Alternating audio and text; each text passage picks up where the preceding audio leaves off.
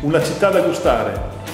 A Fano il 28 e il 29 di ottobre due giorni dedicati al cibo e all'alimentazione, con ospiti illustri come Andrea Segre e Paolo Teobaldi. Parleremo di ospitalità evoluta, cibo, ristorazione e tecnologia.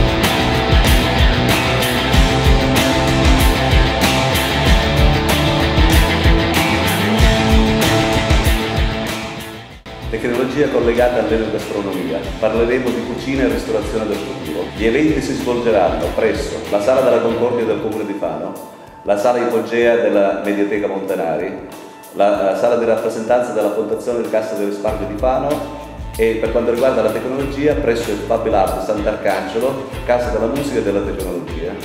Intervenite numerose, l'ingresso è gratuito.